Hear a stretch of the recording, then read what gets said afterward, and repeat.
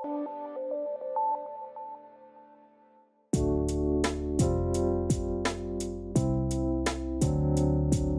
as you can see, things are really moving along quite quickly.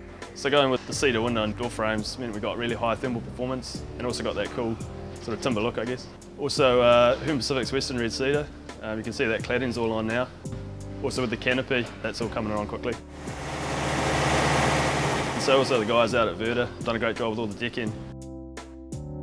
Yeah, so we've developed quite a unique cladding system. We've developed the aluminium clip-on system. So it means very quickly we can be clipping these on, off, and get all the right weather seals and the look we want at the end as well.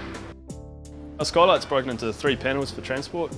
Thermosash did the frames for that and Metro Glass supplied the glass. And they're all dropped in piece by piece. I mean, every panel weighs 130 kgs, so we've got to lift that up above our heads and put it into the, um, into the central module. Um, so I think we're definitely going to employ a bit of muscle for that, of course with the students as well.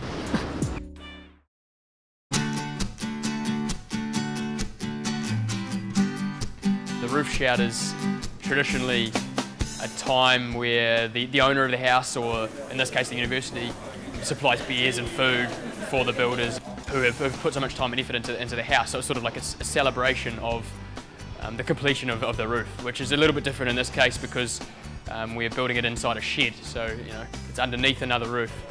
We wouldn't have got to where we've got to today if it wasn't for the help of, of so many special individuals from all around New Zealand um, who've helped us out with um, in-kind products, materials um, and support. And for a lot of these people that are coming along to the roof shout, they, they haven't actually seen the building to, to the level it is at the moment. So it's a chance for them to walk around the house, um, see their own products, see what they've given into the project. Um, and so for me, being involved in the process for over a year and, and, and working through the design of this, um, it's amazing to see it at the state that it's at. It's been a, a difficult process, um, some, some long nights and some, some hard thinking, but I think it's a real testimony to the amazing people that we have on this project, um, from the builders and the people that supply product for us. It's all sort of come together uh, incredibly well if you sort of take a step back from it and, and look at the house for what it is. You know, it's amazing that we've, we've, we've achieved what we have.